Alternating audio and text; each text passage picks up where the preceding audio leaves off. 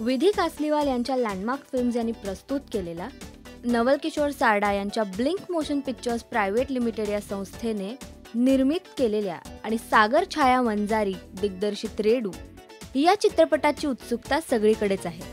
अनेक पुरस्कार प्राप्त रेडू या चित्रपटाची चर्चा सगळीकडे आहे. अठरा मेला रेडू प्रदर्शित होत आहे. रेडू या चित्रपटाविषयी काही गोष्टी आम्ही तुमच्यापर्यंत पोहोचवत आहोत. रेडू सिनेमाची सुरुवात होताना कोकणातील निसर्ग आपल्याला अनुभवायला मिळतो. लाल माती मोठी तळी आणि झाडं झुडपं आपल्याला थेट कोकणात घेऊन जातात. सिनेमाचा काळ बऱ्यापैकी जुना दाखवला गेलाय. ज्यावेळी रेडिओ म्हणजे खूप कुतूहलाचा आणि नवलाईची गोष्ट मानली जात होती. या पार्श्वभूमीवर दिग्दर्शक सागर वंजारी याने समर्पक दिग्दर्शन केलंय. जुन्या काळातील कोकण प्रेक्षकांसमोर मांडण्यात दिग्दर्शकाला नक्कीच यश आलंय. रेडिओ या एका गोष्टीमुळे एका कुटुंबाचं आयुष्य काहीसं बदलतं. हे दाखवताना कुठेही अतिशयोक्ती वाटली नाही. खूप अभ्यासपूर्ण दिग्दर्शन केलेलं रेडू या चित्रपटामार्फत दिसून आलेलं आहे. सिनेमाची कथा पटकथा आणि संवाद संजय नवगिरे यांची आहे. स्क्रिप्टचा मालवणी भाषेतील अनुवाद चिन्मय पाटणकर यांनी केलाय. रेडिओसाठी खूप आकर्षण असलेल्या आणि तो मिळवण्यासाठी लागेल ती धडपड करणाऱ्या एका पुरुषाची कथा म्हणजे रेडू. ओघानेच त्याची बायको आणि मुलगी सुद्धा रेडिओ मिळवण्यात त्याला मदत करत असतात. एक लहान पण साधी सोपी गोष्ट चित्रपटातून मांडलेली आहे. रेडिओसाठीचा ध्यास आणि त्याला पूरक घडणाऱ्या अनेक घटना सिनेमामध्ये आपल्याला बघायला मिळतात. शशांक शेंडे म्हणजेच रेडू या चित्रपटातील तातू.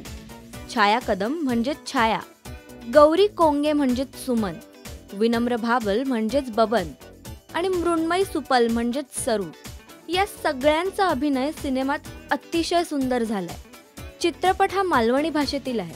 मालवणी भाषेचा उपयोग करताना कुठेही अनैसर्गिकपणा जाणवलेला नाही. प्रत्येकाने आपापलं पात्र चोख हाताळलंय. चित्रपटाचं संगीत आणि पार्श्वसंगीत विजय गावंडे यांनी केलंय. कोकणातील वनराई तिकडची शांतता प्राण्या पक्ष्यांचे आवाज या सगळ्या गोष्टी अभ्यासून पार्श्वसंगीत तयार केलेलं आहे.